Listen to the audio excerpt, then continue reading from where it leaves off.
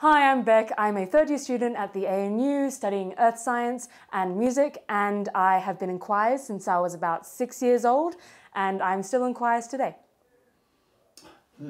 I teach nine year olds uh, every Saturday, and I love it, and I love hearing them sing all the time.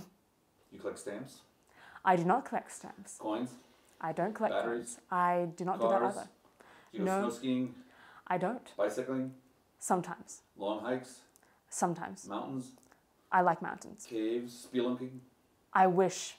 I play the violin and I sing, and then I can also play guitar and ukulele and piano. Oh, can you sing us As a song? oh, here comes the sun, doo doo doo. Here comes the sun, and I say it's alright, doo doo doo doo doo.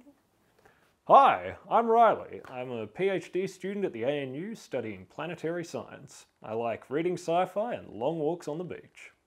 Okay, and where'd you grow up? I grew up in Bendemeer near Tamworth. So you're not much of a singer? No, certainly not. Can't you much of a dancer? No. Can you move your jaw like this? I traded every musical bone in my body for two funny bones. Why does a chicken coop have two doors?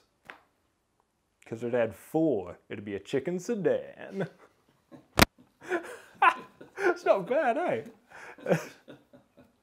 you heard the one of how do you, you're in a room with a table and no doors, no windows, how do you get out? Hit your hand against the table until it gets sore. Then use the saw to cut the table in half. And then put those two halves together to make a hole, and you crawl out through the hole. Works every time. If you want to go even further, you say, "How do you get home?" You then yell until your voice gets hoarse. Then you ride the horse home. It's- Okay. Any astrobiology jokes? we come in peace, we leave in pieces. Hello, my name is Murray. My pronouns are he, him. I study physics here at the ANU and I'm about to start my honours year at the Plasma Research Lab.